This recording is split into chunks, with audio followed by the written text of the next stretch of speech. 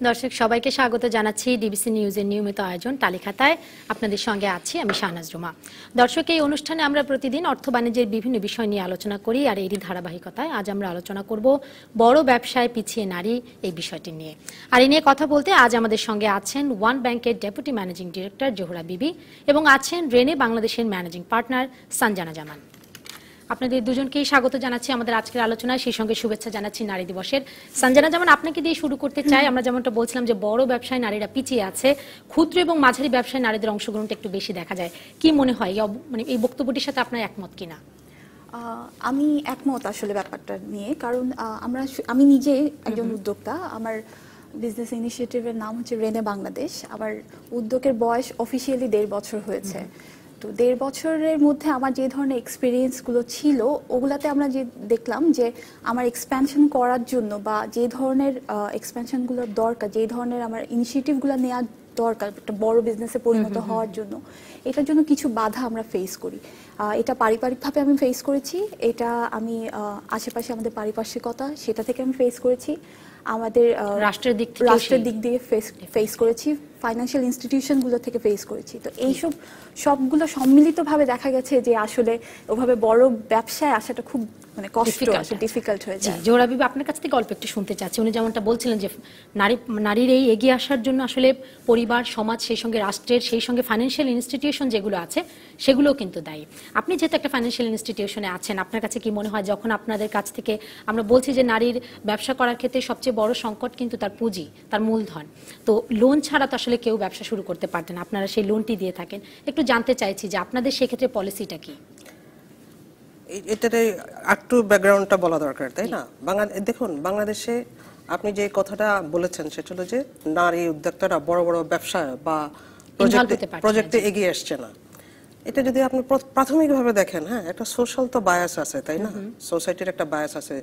আপনাকে কখনো কেউ বলে না পরিবারে হ্যাঁ যে তুমি বড় হয়ে ব্যবসাপাতি করবে। সবাই বলে যে বড় হয়ে ছেলেদেরকে বলে ভালো কিছু করবে ডাক্তার ইঞ্জিনিয়ার সরকারি চাকরি করবা। আর মেয়েদেরটা যেটা চায় যেটা বাস্তবতার প্রেক্ষিতে তাদের যে হাউস হোল্ড জব এবং ফ্যামিলি আপব্রিঙ্গিং এর জন্য যে রেসপন্সিবিলিটি আছে তারা সময় দিতে পারে না। তো মা বাবা আমাদেরকে কি বলে? আরে ভালো লেখাপড়া করো ভালো বিয়ে হবে। ডাক্তারি করলে ভালো টিচার হতে পারলে ভালো ইজি প্রফেশনগুলা যেগুলো লজিক্যাল তো যেটা করে আসলে সংসারের দিকেও সময় যায় তার সংসারে তার যে সোসাইটি তাকে যেই সংসারে পরিবারে যে রোলটা প্লে করার জন্য ইম্পোজ করে আসে আসলে তো এটা শেয়ার করার কথা তাই না? তো এইগুলো করতে গিয়ে হয় কি আমাদের প্রথমে আপনার তো তৈরি থাকতে হয়নি যে আমার একটা অ্যাম্বিশন থাকতে হয় একটা ভিশন থাকতে হয় আমি এটা হব। আমরা চিন্তা করি ওইভাবে ঠিক আছে না? অ্যাম্বিশনটা শুরুতেই মানে শুরুতে তো কেউ বলে না যে তুমি ব্যবসা করো বড় ব্যবসা আরও পরের কথা। তারপর দেখেন সোশ্যাল বায়াস আপনার নারীদের সোশ্যাল বায়াস তো আছে এটা তো আর আজকে নতুন করে বলার অপেক্ষা রাখে না তাই না?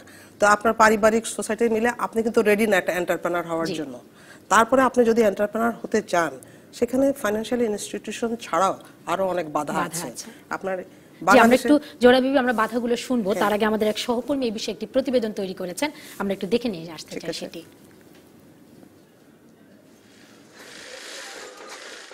শুরু করেছিলেন মাত্র বিশ হাজার টাকা দিয়ে। কর্মী ছিল দুজন। বারো বছরে ব্যবসার আকার বেড়েছে। কর্মীর সংখ্যা এখন দুশো। মূলধন ছয় কোটি টাকার কাছাকাছি। এক সময়ের পল্লী চিকিৎসক নাজমা খাতুন এখন সফল উদ্যোক্তা। তবে পথ চলাটা একেবারে সুগম ছিল না। আমার ছোটবেলা থেকে স্বপ্ন ছিল যে অনেক মানুষ নিয়ে কাজ করব, মানুষের জন্য কাজ করব। আমি যখন বাইরে কাজ করতে যেতাম, আমাকে সবাই প্রশ্ন করতো যে, আপনি কেন আসছেন? আপনি কেন আসছেন? বাড়ছে নারী উদ্যোক্তাদের সংখ্যা। বাংলাদেশ ব্যাংকের প্রতিবেদন বলছে দু হাজার দশে দেশে নারী উদ্যোক্তা ছিল তেরো হাজার দুশো চল্লিশ জন। দু হাজার চোদ্দোতে সংখ্যা দাঁড়ায় উননব্বই হাজার আঠারো জনে। দ্বিগুণেরও বেশি বাড়লেও ব্যবসায় নারীদের অবস্থান এখনও সন্তোষজনক নয়। অ্যাসোসিয়েশন অফ গ্রাসরুটস উইমেন এর হিসেবে মাত্র দশ শতাংশ বাণিজ্যিক প্রতিষ্ঠানের মালিকানা নারীদের হাতে। এগুলোর বেশিরভাগই ক্ষুদ্র ও মাঝারি, বড় প্রতিষ্ঠান এক শতাংশেরও কম। আমি যে মেয়েদের সাথে কাজ করেছি লাস্ট পঁচিশ বছরে, খুব ভালো করেছে। সবাই ওই ওদের, এখন নানি দাদি হয়ে গেছে। তো মেয়ে ব্যাংকে কাজ করছে, বাচ্চা ওর কাছে থাকছে। ছেলের বউ ব্যাংকে কাজ করছে, বাচ্চাকে রাখছে। তো ওরা নিজে একটু ফল ব্যাক করেছে আর বউকে আর মেয়েদেরকে চান্স দিচ্ছে। শুধু পারিবারিক দায়বদ্ধতাই নয় সম্ভাবনা জাগানো উদ্যোগগুলো বড় হওয়ার আগে মুখ থুবড়ে পড়ছে সামাজিক নিরাপত্তার অভাবে। বাবা দেরিতে অফিস করে আসছে কোনো অসুবিধা নাই। মা যদি দেরি করে আসে তাহলে মা বাচ্চাদের জন্য চিন্তা করে না। আমি কি একেবারেই নিশ্চিত যে আমার যে কর্মীটা রাত নয়টার সময় নিরাপত্তায় যেতে পারবে কি পারবে না দ্বন্দ্বটা থাকে একটা পুরুষের বেলা একই চিন্তা কি আমি করি আমি কিন্তু করি না।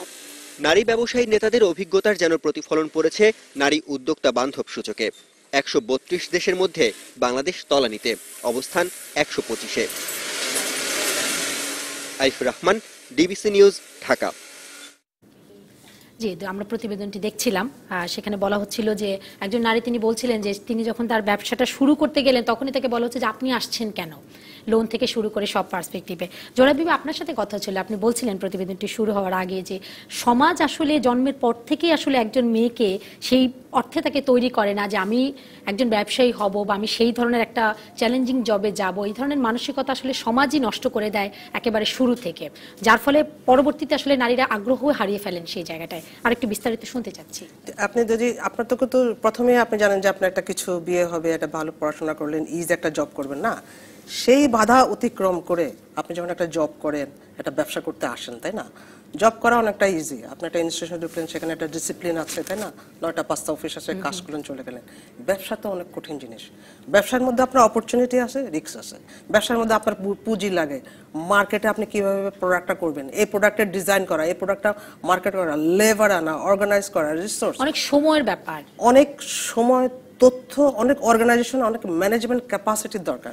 ইউ আর টেকিং রিস্ক যে আপনি একটা অপরচুনিটি আছে আপনি একটা ব্যবসা করবেন এখানে আপনি রিসোর্স নেবেন তাই না? এটা মার্কেটে প্রোডাক্টটা ঢুকাবেন। এইসব করার জন্য যে আয়োজনটা করা ম্যানেজারিয়াল ক্যাপাসিটি সে সাথে ফিনান্স এগুলা মিলে লেবার অর্গানাইজ করা তাই না? এটা আসলে একটা কঠিন কাজ। আমাদের মেয়েরা এখন যেটা আসছে যে আপনি দেখবেন যে দু ধরনের মেয়েরা আমাদের ব্যবসাতে এসছে। যেহেতু আপনি ব্যবসার কথা বললেন। একটা হলো যে নিচের দিকের মেয়েরা লো ইনকাম মেয়েরা তারা ছোট বুটিক করছে পার্লার করছে। হয়তো কেউ কেউ একটু ভেরিয়েশন করে ফ্যামিলি সাপোর্টের জন্য ওনার মতো হ্যাঁ যে আটটু মানে হায়ার লেভেলে গিফট আইটেমে গেছে ব্যাগে গেছে না? বেশিরভাগ কিন্তু বুটিক এবং ইয়ে থেকে আমরা আমরা বেরিয়ে আসি না। এটা হলো আমাদের নিচের স্তরের দিকে। আর উপরের স্তরে যেহেতু আমরা অনেকদিন ব্যাংকের ক্রেডিটে কাজ করেছি আমার তো ক্রেডিট নিয়ে অভিজ্ঞতা। উপরের দিকে যারা এসছেন আমাদের ওমেন এন্টারপ্রেনারদেরকে দেখেছি যে তারা এসছেন ওয়াইফ হিসেবে। একটা বড় বিজনেস প্রতিষ্ঠানের ওয়াইফ হিসেবে। চেয়ারম্যান পদে হয়তো বা তারা আছেন বড় কোনো পদ তাদেরকে দিয়ে ভালো করেছেন। আবার কেউ এসছেন মেয়ে হিসেবে। তারা ওখানে ভালো করছেন বাট একটা এন্টারপ্রেনার নিজে বের হয়, তাই না? তো এখনও আমরা ওটা দেখি নাই, ওনারা ভালো করছেন। তো আমাদের একটা এক্সপেকটেশন ছিল যে যারা ছোট ছোট ব্যবসা করছেন এসএমই করছেন হ্যাঁ ওখান থেকে একটা গ্রাজুয়েশন হয়ে আস্তে আস্তে বড় ব্যবসাতে আসবে। বড় ব্যবসাতে আসতে হলে তো আপনার ওই যে, যেগুলো বললাম মার্কেটে আপনার প্রোডাক্ট ডিজাইন করা প্রোডাক্টটা মার্কেটের থ্রু করা রিসোর্স মোবিলাইজ করা, এগুলো যে ব্যাপারগুলো, এগুলো আসলে এখনও মেয়েদের মধ্যে হয়ে ওঠে ভবিষ্যতে যদি এসএমই থেকে সাকসেস হয়ে, এখানে যদি ওনারা এক্সট্রা ইকুইটি জমিয়ে আস্তে আস্তে মার্কেটটাকে বুঝে নেটওয়ার্কিংটা করে প্রোডাক্ট ডিজাইন ক্যাপাসিটি ম্যানেজারিয়াল ক্যাপাসিটিটা একটা ভীষণ বড় ব্যাপার। সেটা আপনার বড় জবে হোক, আপনার বিজনেসে হোক, এই যে এগুলোকে করে একটা জিনিসকে রেজাল্ট দেওয়াটা, তাই না? তো সেগুলো এখনও হয়নি যেভাবে করার কথা সেখানে হয়নি ভবিষ্যতে হয়তো এইভাবেই হবে। অথবা আমাদের যারা বড় বড় ব্যবসা করছেন যাদের ওয়াইফ তাদের ডটাররা নেমে এসছেন তারা যদি তারা হয়তো independent- একসময় এটার হাল একসময় তারা অনেক ভালো করছেন আমি এটা বলব আই এম ইমপ্রেসড জি। তারা একসময় চলে আসবে। জি। আর সঞ্জনা যেমন আপনার কাছে একটু ফিরছি। উনি যেমনটা বলছিলেন যে আসলে সমাজ এবং রাষ্ট্রই আসলে আমাকে শুরু থেকে আমার জন্মের পর থেকে আমাকে অ্যালাউ করে না। ডিফারেন্ট কোনো পেশায় যেখানে সময় সাপেক্ষ মানে সমাজ আমাকে আগেই ধরে দেয় যে তুমি নারী তোমার সংসার তোমার সবকিছু সামলে তারপরে যে সময়টুকু পাও, সেটুকুর জন্য তুমি হয়তো বা কিছু করতে পারো যেহেতু তুমি পড়াশোনা করছ। এই বিষয়টা আপনার কাছ থেকে একটু বিস্তারিত শুনতে চাই। সেই সঙ্গে আপনার অভিজ্ঞতা আমি একটু শুনতে চাই। পারিবারিক, সামাজিক অভিজ্ঞতা। আচ্ছা আমি বিজনেস গ্রাজুয়েট তো আমি যখন বিজনেসে পড়াশোনা করলাম তখন চিন্তা ছিল যে নিজস্ব একটা কিছু হবে। নিজের ব্যবসাটা কি হবে কি নিয়ে করব ওভাবে আইডিয়া ছিল না কিন্তু নিজস্ব কিছু একটা হবে। তো মাস্টার্স পাশ করার পর যখন আমি চিন্তা করলাম যে এরকম একটা কিছু নিজের কিছু করা যায় কিনা তখন আমি সবকিছু সার্ভে করে দেখলাম মার্কেট সার্ভে করে দেখলাম যে আমাদের বাংলাদেশে আসলে ব্যাগের সেক্টরটাতে চায়না ইন্ডিয়ার একটা বিশাল দখল আছে। হ্যাঁ ব্যাগ বলতে আমরা বলছি হয় চাইনিজ ব্যাগ হয় থাইল্যান্ডের ব্যাগ অথবা ইন্ডিয়ান ব্যাগ তো ব্যাগের মার্কেটটা আমাদের আসলে নাই বাংলাদেশি ব্যাগের জন্য। তো তখন আমি চিন্তা করলাম যে এই বাংলাদেশে এরকম কোনো একটা ব্র্যান্ড লঞ্চ করা যায় কিনা যেটা আমরা প্রাউডলি আমি বলব যে এটা made in Bangladesh proudly made in Bangladesh. এটা আমার ট্যাগ লাইনও তো এভাবেই করে আমি আগাতে পারি কিনা যে আমি সব প্রোডাক্টগুলো আমি আমার এখানেই হবে ম্যানুফ্যাকচারিং এখানেই করব আমি এখানে প্রোডাক্টটা প্রমোশন করব মানুষের কাছে পৌঁছে দেওয়ার চেষ্টা করব মার্কেটিং করব উনি যেগুলো বললেন সব ডিজাইন করে একসাথে এনে একটা প্রোডাক্ট একটা ব্র্যান্ডকে দাঁড় করানো এরকম একটা চিন্তা ভাবনা থেকে আসলে রেনে বাংলাদেশের শুরু। তো এভাবে যখন চিন্তা ভাবনা করলাম প্রথম দিকে যেহেতু আমার কোনো ফ্যাক্টরি ছিল না আমার কোনো ম্যানুফ্যাকচারিং সেট ছিল না আমার দোকান ছিল না আমার কাগজপত্র সব কিছু রেডি করতে হচ্ছে তো এইভাবে বিভিন্ন ফ্যাক্টরিতে আমি দৌড়াচ্ছি যে আমার এই স্যাম্পলটা একটু করে দাও। অল্প কিছু কোয়ান্টিটির জন্য আমার হয়তো বিভিন্ন যেখানে র ম্যাটেরিয়ালসগুলো পাওয়া যায় সেই দোকানগুলোতে আমার ঘুরতে হচ্ছে হ্যাঁ? তো অল্প কিছু কোয়ান্টিটি তারপর দিয়ে একটা মেয়ে যাচ্ছে। ওই দোকানে ঢুকে যখন আমি বলছি যে আমার হয়তো এটা অল্প কোয়ান্টিটি এক গজ দুই গজের একটা রেক্সিন দাও বা অল্প কিছু এক ডজন অ্যাক্সেসরিজ দাও আমাকে প্রথম ধাক্কাটা আমি ওখানেই খাই যে ফিল্ডে আমি যেহেতু প্রাইভেট ইউনিভার্সিটি পড়াশোনা করেছি ওখানে না বৈষম্যটা ভাবে আসলে বোঝা যায়। ইভেন পরিবার থেকেও আমার মনে হচ্ছে যে আপনি শেষ বৈষম্যটা পাননি। পরিবার থেকে হতে আমার বাবা হচ্ছেন সরকারি চাকরি করেছেন মা হচ্ছেন ব্যাংকার তো আমার মা খুব সাপোর্টিভ ছিলেন বাট বাবার হচ্ছে গিয়ে চিন্তা ছিল যে চাকরি করবে মেয়ে। মেয়ে হয় বিসিএস পরীক্ষা দেবে অথবা মার মতো ব্যাংকার হবে।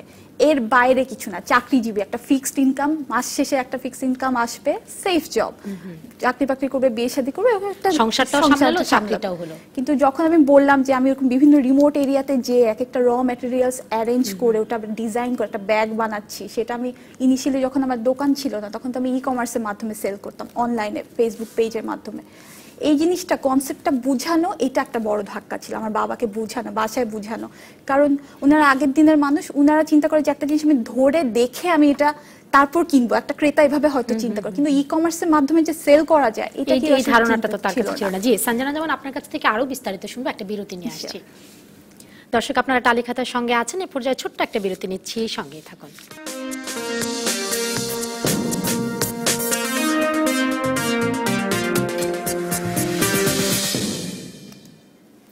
দর্শক, আপনারা আছেন তালিকাতার সঙ্গে। আজ আমরা আলোচনা করছি বড় ব্যবসায় পিছিয়ে নারী এই বিষয়টি নিয়ে। আর এই নিয়ে কথা বলতে আজ আমাদের সঙ্গে আছেন ওয়ান ব্যাংকের ডেপুটি ম্যানেজিং ডিরেক্টর জোহরা বিবি এবং আছেন রেনি বাংলাদেশের ম্যানেজিং পার্টনার সানজানা জামান। আর সঞ্জনা জামান বিরতির আগে আপনার সাথে কথা হচ্ছিল, আপনি বলছিলেন আপনার পরিবার আর সমাজের দৃষ্টিভঙ্গি। আমরা একটু শুনতে চাচ্ছি যে আপনি যখন ব্যবসাটা একেবারে শুরু করার কথা ভাবলেন এবং আপনি পড়াশোনা করেছেন ব্যবসা নিয়ে এবং তারপর যখন আপনি ব্যবসা শুরু করতে গেলেন, বলছিলেন যে ছোট ছোট দোকানে যখন আপনি যাচ্ছেন, তারাই ভাবছে যে আপনি কেন বা আপনি দিতে চাচ্ছেন না কেন? এই সঙ্গে আপনার পরিবারের অভিজ্ঞতাটুকু একটু শুনতে চাচ্ছি। পরিবারের মানে যেহেতু আমি বললাম যে আমার বাবা একটু নারাজ ছিলেন এই ব্যাপারগুলো তো বুঝানো খুব ডিফিকাল্ট ছিল আসলে যে আমি কোথায় যাই। তখন তখন আমি যেটা করতাম যে আমি ভালো দিকগুলো আসলে বলার চেষ্টা করতাম। খারাপ দিকগুলো কীরকম খারাপ আমি বলব না বাট এগুলা না হলে হয়তো ব্যবসাটা এভাবে আসতো না। যে শুরুতে আমি যেই জায়গাগুলোতে যাচ্ছি পুরান ঢাকার বা একদম রিমোট এরিয়াতে ওরা না জেনারেলি ব্যবসায়ী বলতে অনেক বাল্ক কোয়ান্টিটিতে নিবে ওরকম বড় ব্যবসায়ীরা যাবে দোকান থেকে একদম মাল তুলে নিয়ে আসবে এরকম দেখে অভ্যস্ত। আর ওখানে আমরা যে আমি আমার পার্টনার মিলে যে ওখানে একজন ছেলে একজন মেয়ে। আমি দেখতাম কি যে ওরা ছেলেদের সাথে কথা বলতে যেরকম কমফোর্টেবল মেয়ের সাথে কথা বলতে একেবারে কমফোর্টেবল না। আমি যদি জিজ্ঞেস করি এটা দাম কেন এটা? ওরা রিপ্লাইটা দিচ্ছে আমার পার্টনারকে আমার সাথে কথা বলতে তাদের খুব আপত্তি। তারপর অনেকে ছিল এরকম যে খুব আমার কষ্ট দেখে ওরা খুবই দুঃখিত হয়ে বলতো যে আপা আপনাকে আমরা চাকরি খুঁজে দিব আপনি কষ্ট করে আসেন না গাদা মাটির মধ্যে আসেন না। তো ওনাদের চিন্তা ভাবনাটা এরকম যে মেয়েটা চাকরি করে সেফ জায়গায় থাকুক ভালো থাকুক হ্যাঁ। কিন্তু আমার যে এটার মধ্যে আমার একটা শান্তি একটা আনন্দ আমি নতুন কিছু সৃষ্টি করছি এই আনন্দটা না আমি কাউকে বুঝাতে পারতাম না। ওই ধরনের মানুষগুলো এখন এক বছর পরে গিয়ে ওনাদের একটা অ্যাকসেপ্টেন্স আমি পেয়েছি কিন্তু ইনিশিয়ালি খুব ডিফিকাল্ট ছিল ওনাদের সাথে কথা বলে বুঝানো। তো এইগুলো এসে আবার বাসায় বলাটা আমি আমার মার সাথে খুব সুন্দরভাবে শেয়ার করতে পারতাম যেহেতু উনিও কর্মজীবী মহিলা উনি অনেক কিছু সমস্যা কিন্তু বাবার সাথে শেয়ার করাটা একটু ডিফিকাল্ট ছিল কারণ বাবা এগুলো বুঝবে না। বাবা হয়তো আমাকে বলবে তাহলে যাওয়ার দরকার কি? করার দরকার কি? করো না যেও না। তুমি একটা অফিস ডেস্ক ডেস্ক জব কেন করছ না? এই যে রাস্তায় ঘুরে ঘুরে বিভিন্ন ম্যাটেরিয়াল কালেক্ট করে তোমার দরকারটা কি? তো এই ধরনের ছিল। তখন আমি বলতাম যে ভালো ভালো কথা যে না আমি আজকে গেছি ওই দোকানে সুন্দরভাবে কথা বলছে বসতে দিয়েছে মানে আজকে। ঘুরিয়ে বলতে হতো তাকে ঘুরিয়ে বলতে হতো। হ্যাঁ যে না ঠিক আছে আমি ভালো আছি আমার কষ্ট হচ্ছে না। কারণ বাবা মাদের তো একটা চিন্তা থাকে যে ভালোভাবে থাকুক মেয়ে মেয়েদের প্রতি তো আরও বিশেষ একটা যত্ন থাকে। তো এভাবে শুরু হয়েছিল আর কি। জি। আর জোড়া বিবি আপনার কাছ থেকে একটু শুনতে চাচ্ছি এই প্রসঙ্গে। আপনার শুরুটা যদি একটু জানতে চাই আপনি নিজে একজন ব্যাংকার হলেন কেমন ছিল আপনার অভিজ্ঞতা পারিবারিক এবং সামাজিক? পরিবার থেকে আমার অনেক সাপোর্ট ছিল। হ্যাঁ, আমার আব্বা ভাই বোন ফ্যামিলি সবাই চাইতো যে আমরা প্রতিটা মেয়ে হ্যাঁ ফিনান্সিয়ালি খুব ইন্ডিপেন্ডেন্ট হবে নিজের ডিসিশন ওরকম একটা আবহাওয়ায় আমি মানুষ হয়েছি। তারপরে আমার ব্যাংকের চাকরিটা আরও সুবিধা হয়েছে যেহেতু আমি আইবিএতে পড়েছি বিজনেস অ্যাডমিনিস্ট্রেশনে পড়েছি। তো ব্যাংকের চাকরিটা ঢুকলাম বোধহয় এমবিএ বলেই ভালো ভালো ডেস্ক পেয়েছি। হ্যাঁ তো যেটা আমি দেখেছি যে আপনার ক্যারিয়ার করতে হলে কিন্তু আপনার প্রথমে খুব সিরিয়াস হতে হবে। মেয়েদেরকে হ্যাঁ মানে আমি যখন ব্যাংকে ঢুকলাম সেই এইটি থ্রিতে, তখন তো অবস্থা কীরকম? মানে দু- আমরা কয়জনেই মানে ম্যানেজমেন্ট ট্রেনিং অফিসার আর কিছু মেয়েরা আছে, একটু ক্লারিক্যাল লেভেলে হ্যাঁ? ম্যানেজমেন্ট ট্রেনি ওরকম মেয়েরা আসেনি। সবাই প্রথমে জিজ্ঞেস করতো যে, বিয়ে করছি কিনা? বা আমার মা বাপকে, আমার আমার বিয়ের প্রপোজাল নিয়ে সবাই বেশি চিন্তা করতো। ঠিক আছে? এরকম একটা পরিবেশে আমি একটা ব্যাংকের চাকরি ঢুকি। তারপরে যেটা হয় কি, যে আপনি প্রথমেই যদি কাজটা কিন্তু খুব মন দিয়ে করতে হবে ঠিক আছে? আপনার যে আউটপুটটা সেটা করতে হবে। কলিগ হিসেবে কি আপনি কোনো বাধা পেয়েছেন আপনার কলিগদের কাছ থেকে ব্যাংকে কাজ করতে গিয়ে? আমি একটু প্রিভিলেজ ছিলাম তাই না? আইবি থেকে গ্রাজুয়েশন করে গিয়েছি আমাদেরকে স্পেশাল একটা রিক্রুটমেন্ট করা হয়েছে। হ্যাঁ এবং আমাদেরকে একটা ভালো ডেস্ক দেওয়া হয়েছে ইন্টারন্যাশনাল ডিভিশনে এবং ওখানে গিয়ে যেটা আমি মানে কাজগুলো আমাদের জন্য তখন একটা খুব ইজি ছিল ব্যাংকের কাজগুলো। সব প্রথমেই সবার একটা আমার ডেলিভারি আউটপুট দিয়ে সবার মনোযোগটা করতে পেরেছি। এবং ওটা ওখান থেকে একটা অ্যাফেকশন আমার জন্য সবসময় ছিল। আমাকে যখন যে কাজটা দিয়েছে আমি রেসপেক্টিভ যা কিছু কাজটা ঠিক মতো করতাম। এটাই আমি মনে করি যে আমার সাকসেসের মেইন ইয়ে যে ডেডিকেশনটা জবে প্রথম থেকে। শুরুতেই আপনাকে ইমপ্রেশন ক্রিয়েট করতে হবে জবটা জানতে হবে তাই না? এবং জবটা ডেলিভারিটা ঠিক মতো দিতে হবে। এবং সেই সাথে সাথে আমি যখন জব করতাম তখন আমার একটা জব যখন করতাম তখন যে সমস্ত জিনিস একটু কি সবাই কি করছে কোথায় ঠিক করে দিল আমার জবটা এটা খুব মন দিয়ে দেখতাম। মানে কাজের প্রতি সিনসিয়ারিটি এটা খুব ইম্পর্টেন্ট জি যে সঞ্জনা বিউ আমরা মূল আলোচনায় আসলে ফিরতে চাই যে আমরা বলছিলাম ভারী শিল্পে নারীর অংশগ্রহণ কম বড় বড় শিল্প কারখানাগুলোতে আপনি তো আহ, শিল্প কারখানার সঙ্গে জড়িত আছেন আপনার কাছে একটু শুনতে চাই আপনার অভিজ্ঞতা কি বলে? কেন এই সুযোগটা কম? ওই যে বললাম যে এগুলা তো বললাম যে পারিবারিক বা পারিপার্শ্বিক এই ধরনের কিছু বাধা ফাইন্যান্সিয়াল ইনস্টিটিউশনের কথা আপনি শুরুতে হ্যাঁ। বলছিলেন যে সেখানে তারপর আসে হচ্ছে ফাইন্যান্সিয়াল ইনস্টিটিউশনের কথা। আমি যখন শুরু করলাম তখন তো একটা ট্রেড লাইসেন্স আপনাকে করতে হবে হ্যাঁ? তো ট্রেড লাইসেন্স করতে গিয়ে আমি যেটা দেখলাম যেহেতু আমার তখন ম্যানুফ্যাকচারিং কোনো ইউনিট নাই আহ, আমার কোনো দোকান নাই। প্লাস হচ্ছে কি আমি সেল করছি অনলাইনের মাধ্যমে হ্যাঁ?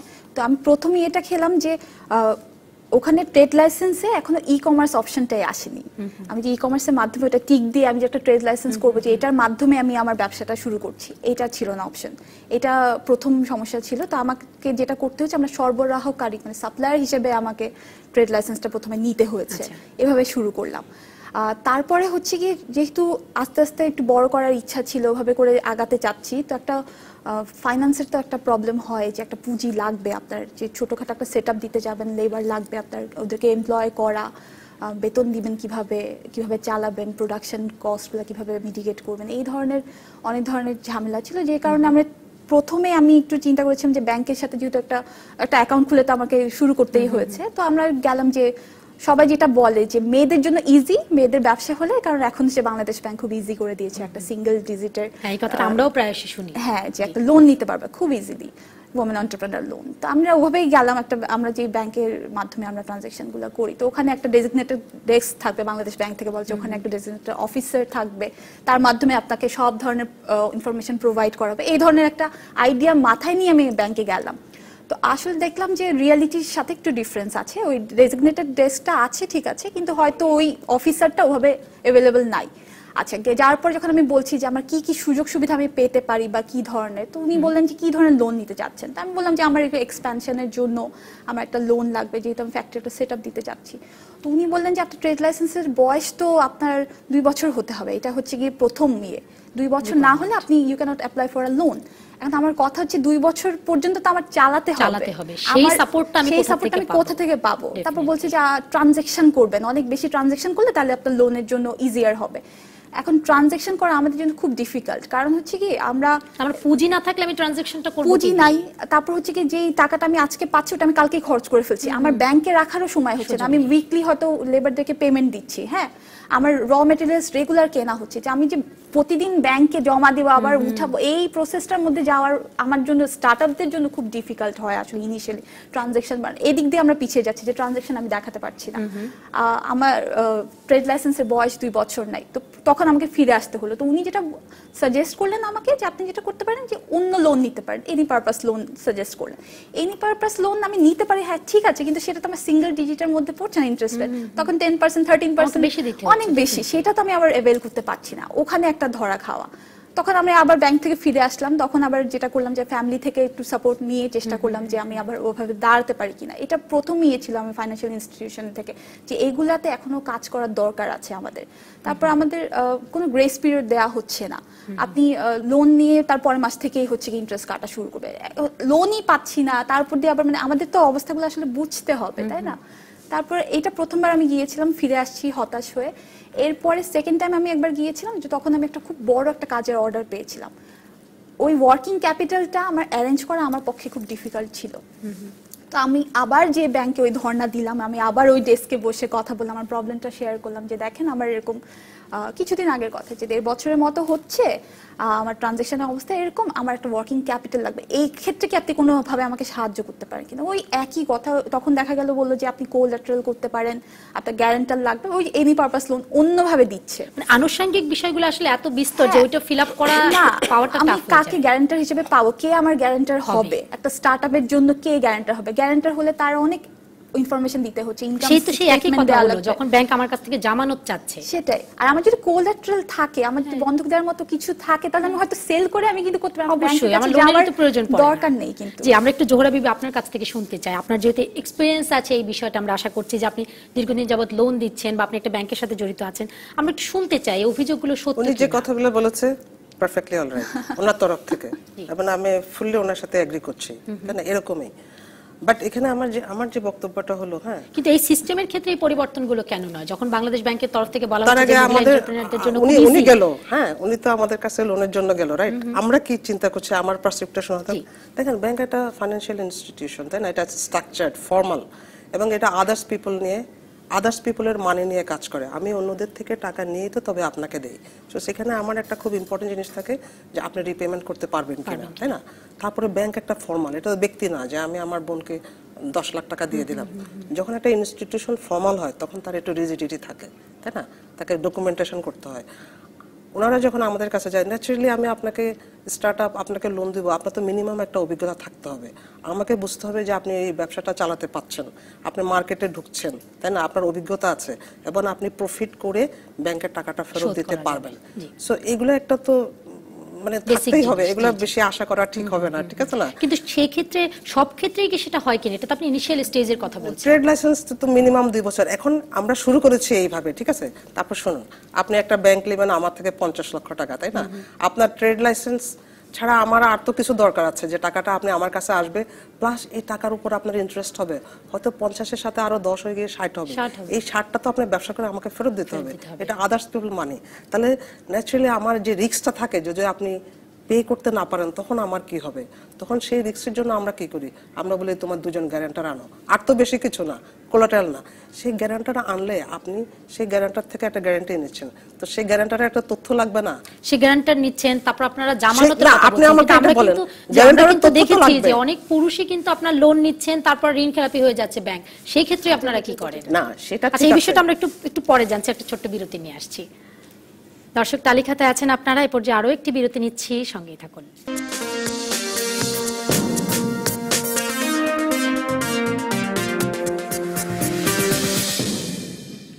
দর্শক, স্বাগত জানাচ্ছি আবারও তালিকাতায়। আজকে আমরা আলোচনা করছি নারীদের ব্যবসায়, বড় ব্যবসায় নারীর অংশগ্রহণ খুবই কম এই বিষয়টি নিয়ে। আর এ নিয়ে কথা বলতে আজ আমাদের সঙ্গে আছেন ওয়ান ব্যাংকের ডেপুটি ম্যানেজিং ডিরেক্টর জোহরা বিবি এবং আছেন রেনে বাংলাদেশের ম্যানেজিং পার্টনার সঞ্জানা জামান। জোহরা বিবি আপনার সাথে কথা হচ্ছিল বিরতির আগে। যেমন সঞ্জানা জামান যেমনটা বলছিলেন যে লোন পেতে গিয়ে তিনি আসলে নানান সমস্যায় পড়ছেন এবং প্রাথমিকভাবে তাকে লোন নিতে হলে গ্যারান্টার লাগছে জামানত চাচ্ছে। আবার আপনি আপনার পার্সপেক্টিভ থেকে বলছেন যে ফাইন্যান্সিয়াল ইনস্টিটিউশনকে তো আসলে কিছু একটা মানে প্রমাণ তাকে রাখতেই হবে। কিসের ভিত্তিতে আপনি সেই লোনটা দিবেন? সেই একটু বিস্তারিত শুনতে চাচ্ছি। আমি যেটা প্রথমে বলছিলাম আসলে তো মেয়েদের জন্য আসলে সোশ্যাল যে বায়াসটা যেমন ধরেন আমি যে কোনো একজনকে একটা লোন দিব, তাই না? সো এটা তো আদার্স পিপল মানে আমার জন্য। আমার লোনটা দেওয়ার মধ্যে একটা রিস্ক থাকে যে ডিফল্ট হতে পারে। ঠিক আছে? তো ডিফল্ট হওয়ার জন্য আমি মিটিগেশন কি নিলাম? কি মেজারগুলো নিলাম? আমি তো বেশি কিছু চাচ্ছি না। ছোট লোনের জন্য দুজন গ্যারেন্টার এখন দেখেন যে বাংলাদেশে ব্যবসা করা মেয়েদের জন্য কত কঠিন। দুজন গ্যারেন্টার তারা দিতে পারে জোগাড় করতে পারে না। আবার গ্যারেন্টারে একটু তথ্য দিতে হয়। আপনি একটা লোনের জন্য আমাকে গ্যারান্টি দিবেন আপনার সম্বন্ধে তথ্য লাগবে না আপনার নেটওয়ার্ক কত আপনার টিন সার্টিফিকেট কত আপনি কে আপনার ঠিকানা কি? এগুলো তারা দিতে পারে না। এগুলো হলো বাধা। হ্যাঁ, বাধা, এগুলো বাধা। এটা কিন্তু এটা কিন্তু ইনস্টিটিউশনের দোষ না। আমি যদি আপনাকে শুধু এটাই বলব একটা ব্যাংক দুটো গ্যারেন্টার চাইতে পারে। গ্যারান্টারের তথ্য যেতে পারে। এখানে দেখতে হবে এটা ইনস্টিটিউশনের আসলে কোনো ফল্ট না। এটা হলো সমাজের এই অবস্থা যে মেয়েদের ওই ব্যাকিংটা নাই। এটা হলো একটা কথা। ওই আটা যে বললাম যে আমরা তো আসলে একটু ফর্মাল তাই না? আমাকে ডিফল্টের রিস্কটা মিটিগেট করতে হবে। আমরা তো খুব ছোট বেঁচে। মেয়েদের আবার দেখেন দুটো গ্যারান্টার দিতে পারে না। মেয়েদের নামে কোনো প্রপার্টি থাকে না। প্রপার্টি না থাকলে তারা কোনো বড় এই যে উনি একটা-। ছোট ব্যবসা থেকে আস্তে আস্তে বড় ব্যবসাতে উনি গ্রাজুয়েট করতে চাচ্ছে তাই না? সেখানে বড় লোন আসলে বড় অ্যামাউন্ট হবে। এক কোটি দুই কোটি পাঁচ কোটি হবে। এক কোটি দুই কোটি পাঁচ কোটি লোন ন্যাচারালি বাংলাদেশের যে অবস্থা, তাতে সবাই একটা কোলাটাল চাইবে যে একটা প্রপার্টি আপনি আমাদের কাছে মর্গেজ দিবেন। তো ওনার নামে যদি কোনো প্রপার্টি না থাকে, উনি ওটা মর্গেজ দিবে না। আবার হয় কি, ওনার নামে যদি কোনো প্রপার্টি থাকে, দেখা গেল যে যখন লোনটা হয়ে গেল, উনি মর্গেজ দিতে পারে না। বিকজ উনি মেয়ে উনি অত ভালো করে দেখেন এই যে কাগজপত্রগুলো ঠিক আছে কিনা, খাজনা ঠিক আছে কিনা, নাম জারি হয়েছে কিনা। একটু মেয়েদের তো এত কিছু জানে না। সো প্রথমেই ওনার নামে নাই, তারপরে ওনাকে গ্যারান্টি কেউ দিতে চায় না। তাহলে ওনাকে আবার কোলাটাল দিবে কে? এগুলো সাম- সমাজের বাধা। আমি বলব এগুলো ফাইন্যান্সিয়াল ইনস্টিটিউশনের বাধা না। ফাইন্যান্সিয়াল ইনস্টিটিউট একটু তার রিস্ক মিটিগেট করবে। এবং ওনাদের আস্তে আস্তে এগুলো সম্বন্ধে অ্যাওয়ার হতে হবে। আমি আপনার সাথে ব্যবসা করব আপনার টার্মসগুলো কি এটা আমাকে জানতে হবে। নাহলে তো আমি একটা আপার হ্যান্ড পাবো না। যে কিন্তু ইনিশিয়াল স্টেজেই তো আসলে নারীর সবচেয়ে বেশি মূলধন বা পুঁজির প্রয়োজন। সেই ক্ষেত্রে আপনাদের ব্যাংকের এই পদ্ধতিগুলোকে কি আরও সহজ করা যায়? ইনিশিয়াল স্টেজে আমরা ওনাদেরকে দশ পার্সেন্টের লোন দিই ছোট ব্যবসার জন্য। ওনাদের ট্রেড লাইসেন্সটা চাই দুই বছর জন্য আর দুজন গ্যারান্টার চাই। এটা একদম মিনিমাম এটা না হলে ব্যবসা করা যায় না। এটা তো একটা প্রতিষ্ঠান তাই না? একদম মিনিমাম এটা। বড় লোনের জন্য এবং যারা আপনার যারা ভালো করে তাদেরকে আমরা সবসময় টপ আপ করি। মনে করেন ওনাকে আমি দশ লাখ লোন দিলাম। উনি দিয়ে এক বছরের মধ্যে দু লাখ ফেরত দেয় আমরা আবার ও দু লাখ ওনাকে দিয়ে দিই। বাট দুটো গ্যারান্টি মানে একটা ট্রেড লাইসেন্স একটা আপনার তো একটা টিন নাম্বার থাকতে হবে আপনার ব্যবসা। তো আমি যেটা বলব কি জানেন? এটা হলো যে ওনারা যখন ব্যবসা করতে আসবে তখন ওনাদের একটা নিজস্ব একটা ক্যাপাসিটি ডেভেলপ করতে যে হাউ টু ম্যানেজ এ ব্যবসা ব্যবসার রিকোয়ারমেন্ট কি ব্যাংকে গেলে কি লাগবে আমার লিগেল রেগুলেটরি কি আছে আমার ট্যাক্স লাগবে ভ্যাট লাগবে ইনকাম ট্যাক্স দিতে হবে কোম্পানি হলে রেজিস্ট্রেশন করতে হবে এগুলো একটু জানতে হবে এবং এই হ্যাঁ, ব্যাপারে এত সবই যখন থাকবে তখন তো সে লোনের জন্য আসবে না তাহলে তো তাকে বুঝতে হবে ইনিশিয়ালি। ইনিশিয়ালি যেটুকু দুটো গ্যারান্টি মানে আমি বলছি আমি বলছি যে সমাজ যেহেতু অ্যালাউ করছে না রাষ্ট্র যেহেতু অ্যালাউ করছে না তারপর যখন আমি সেই গন্ডি পেরিয়ে আমি যখন আসছি তখন আমার ফাইন্যান্সিয়াল ইনস্টিটিউশনগুলো কিন্তু আমাকে হেল্প করছে না। সেখানে এনজিওদের একটা ফর্মাল ফাইন্যান্সিয়াল ইনস্টিটিউশনের কিছু রেগুলেশন সামান্য মিনিমাম একটা রেগুলেশন সেখানে অনেক এনজিওরা সাহায্য করছে। যখন আপনি একটু বড় দশ পনেরো লোন নেবেন তখন আমি মনে করি যে উনি যেটা বলছে একটা টিন সার্টিফিকেট একটা দুই বছরের ট্রেড লাইসেন্স আর দুইটা গ্যারান্টি কি এটা খুব বেশি না? এটুকু তো আপনাকে দিতেই হবে। আপনাকে কিছু একটা করতে হলে কিছু একটা ওভারকাম করে আসতে হবে। ঠিক আছে না? সেক্ষেত্রে আপনি পরামর্শ দিচ্ছেন এনজিওর কাছ থেকে কিছু হেল্প নিয়ে প্রথমে একদম ছোট হলে এনজিওরা তো করছে বাট এইটুকু শহরের মধ্যে এইটুকুর জন্য মানে ঠিক আছে আমি বলে মনে করি। তবে হ্যাঁ ওনার সাথে আমি একটা এগ্রি করি যে আমাদের ব্যাংকিং সেক্টর আরও অনেক ফ্রেন্ডলি হওয়া উচিত এবং আরও অনেক আপনি ব্যাংকে গিয়ে লোনটা না পেলেন কিন্তু আপনি এটা ফিল করলেন যে আমি পরামর্শ পেয়েছি। হ্যাঁ সেটাই আপনি যে পরামর্শটা দিচ্ছেন ঠিক হ্যাঁ, এরকম পরামর্শ যদি ব্যাংক থেকে দেওয়া হয়। দিক নির্দেশনা পেয়েছি। হ্যাঁ এটা হলো আমাদের ইন জেনারেল সোসাইটি দেখবেন যে আমরা এখনও ওরকম কার্ডিয়াল না ওরকম সাপোর্টিভ না। যেমন একটা বিমানে গেলে আমরা ক্রুদের যে হেল্পটা পাই এরকম এই সার্ভিস লেভেলটা এখনও এজ এ সোসাইটি। এত হলে ডেভেলপ করে না ওটা হোক এটা আমি চাই। জি। সঞ্জনা যেমন আপনার কাছ থেকে শুনতে চাই, আপনার অভিজ্ঞতা ঠিক বলে কিনা ওনার বক্তব্যকে? উনি যেমনটা বলছেন যে যদি আপনি সেখানে লোন না পাচ্ছেন, যখন আপনি একটু স্ট্রং হচ্ছেন ফাইন্যান্সিয়ালি ঠিক তখনই আপনি ব্যাংকের দ্বারস্থ হবেন। আসলে কি সম্ভব কিনা আমাদের পার্সপেক্টিভে যে আপনি যখন একেবারে ইনিশিয়াল স্টেজে আপনি এনজিওর কাছ থেকে লোন নিলেন, এরপর আপনি ব্যাংকের দ্বারস্থ হলেন, এনজিওর কাছ থেকে লোন নেওয়াটা আসলে কতটা সহজ বা আপনার অভিজ্ঞতা কি বলে?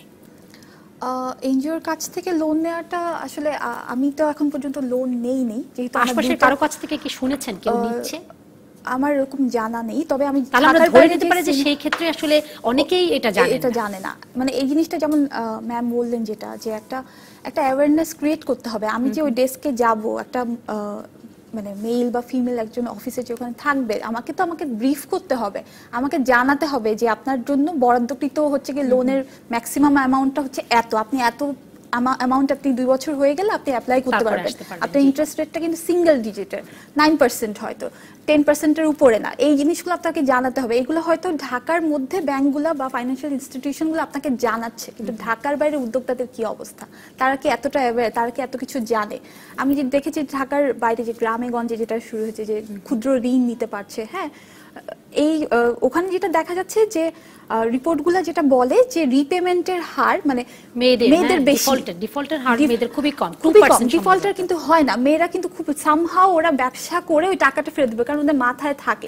কিন্তু ডিফল্টার ম্যাম হয়তো এগ্রি করবেন যে ছেলেদের সংখ্যা বেশি। বেশি। তারপরেও কিন্তু ব্যাংকগুলো আমাদের যেহেতু ট্র্যাক রেকর্ডটা ভালো তাহলে কিন্তু আমাদের আসলে ওইভাবে চিন্তা করা উচিত যে মেয়েদেরকে নিয়ে যে একটা সেপারেট কোন একটা সিস্টেম আনা উচিত যে স্টার্ট আপরা যদি শুরুতেই যদি মরে যায় আমরা তাহলে আর ওটা ওই যে যেটা আমি বলছিলাম শুরুতে আসলে সমাজ রাষ্ট্রের বাধা উপেক্ষা করে। যখন আসে তখন তখনই আসলে তার সাপোর্টটা বেশি প্রয়োজন। সেটাই আমাকে তো ফ্লারিশ করার সুযোগ দিতে হবে। আমাকে তো মানে আমি এক্সপ্যানশনে যাব আমার গ্রোথ হতে হবে। তো ওটার জন্য যেই সাপোর্টগুলো আমার লাগবে আমাকে রাষ্ট্র থেকে দিতে হবে আমার ফাইন্যান্সিয়াল ইনস্টিটিউশন থেকে দিতে হবে।